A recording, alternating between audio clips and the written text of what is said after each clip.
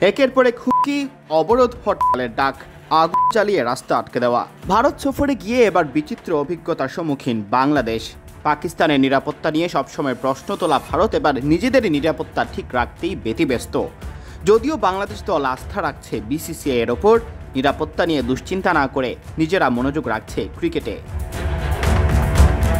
Chennai test ভালোভাবে সম্পন্ন হলেও কানপুর টেস্টে আগে থেকেই হুমকি দিয়ে রেখেছে অখিল ভারত হিন্দু মহাসভা নামের একটি ভারতীয় ধর্মীয় সংগঠন। বাংলাদেশের সংখ্যালঘুরা ভালো নেই দাবি করে বাংলাদেশের বিপক্ষে সিরিজ বাতিলের জন্য আগে থেকেই সোচ্চার সংগঠনটি।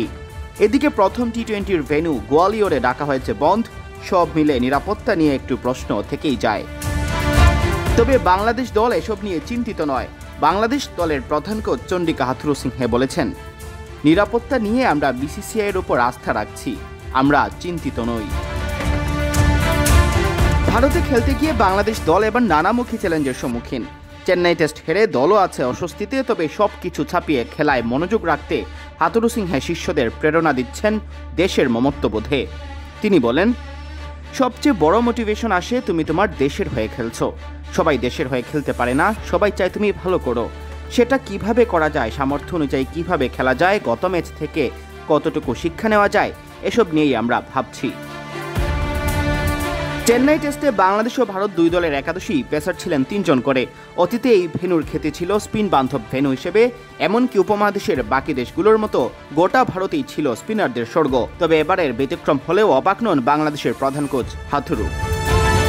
নিজেদের শক্তি ও প্রতিপক্ষের দুর্বলতা বিচার করে এভাবেই নিজেদের পছন্দ মতো উইকেট বানানো স্বাগতিক দলগুলোর চিরায়ত রীতি। সে কথা মনে করিয়ে দিয়েছেন কোচ। টাইগারদের প্রধান কোচ বলেন, পেস বান্ধব উইকেট দেখে আমি অবাক হইনি, কারণ জানি তারা কেন এমন করছে। আমরাও আমাদের দেশে খেলা হলে প্রতিপক্ষের অনুযায়ী স্পিন কন্ডিশন সাজাই। প্রতিপক্ষের শক্তি, নিজেদের শক্তি কিংবা প্রতিপক্ষের দুর্বলতা, এসবের ওপর নির্ভর করে উইকেট তৈরি করা হয়। উপমহাদেশ বলে শুধু স্পিন নয়, চাইলে পেস নির্ভর উইকেটও তৈরি করা যায়। Siam Chowdhury BD Cric Time.